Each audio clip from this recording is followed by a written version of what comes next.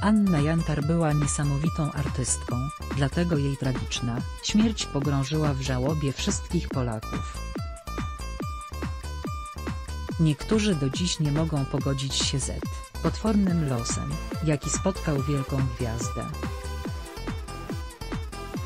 Wokalistka zapewne byłaby dumna ze swojej córki widząc, jak niesamowite odnosi sukcesy. Natalia Kukulska odziedziczyła po mamie nieprawdopodobny talent wokalny. Z czego niewątpliwie może być dumna. Ostatnio media obiegły porażające informacje dotyczące wiadomości. Jaką Natalia otrzymała od swojej koleżanki. Chodzi o mamę artystki. Anna Jantar odeszła zbyt wcześnie. Natalia Kukulska po latach poznała porażającą prawdę 14 marca 1980 roku w tragiczny sposób zapisał się na kartach historii. Tego dnia doszło do katastrofy lotniczej samolotu, którym leciała polska artystka, Anna Jantar. Wówczas kraj stracił wspaniałą wokalistkę, a Natalia Kukulska, mamę.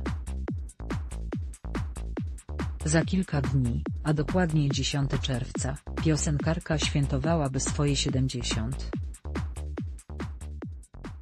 urodziny.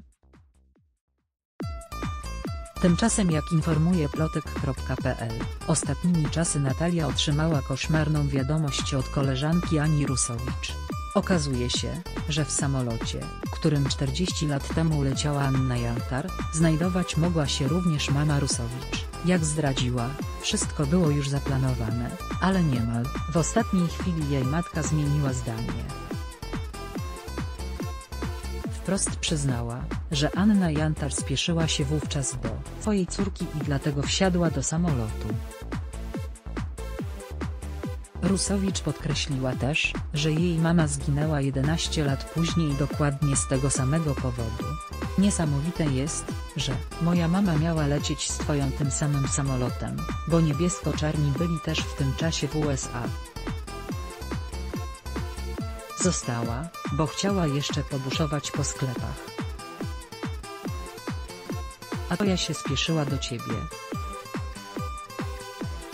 Jak w filmie Oszukać śmierć moja mama zginęła w wypadku samochodowych, w 1991 w Sylwestra, śpiesząc się do mnie. Zostaje pamięć, zostają piosenki, pisała cytowana przez plotek.pl Ania Rusowicz. Źródło, plotek następny artykuł.